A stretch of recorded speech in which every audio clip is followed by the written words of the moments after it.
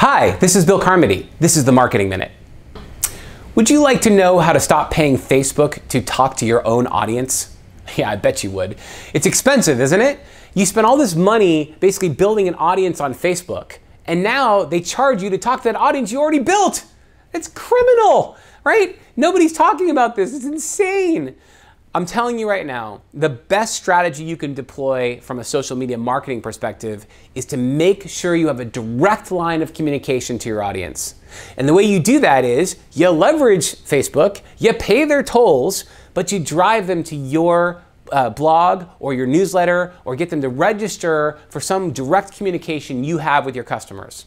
See, we all bought the, drank the Kool-Aid. We bought off on everything that Facebook was saying. We're going to basically put, you know, go fish where the fish are. Awesome, right?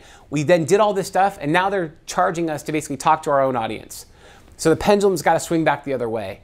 Take the audience you built on Facebook and bring them back to your website, your blog, the way in which you can have direct line of communication with your audience. Hell, if you need to, build a crowdfunding platform. It's great to basically get people to come in and engage with you directly. Whatever you got to do take them back from Facebook and have a direct line of communication. That's how you stop paying those Facebook charges. Thank you. This is Bill Carmody, and you've been watching The Marketing Minute.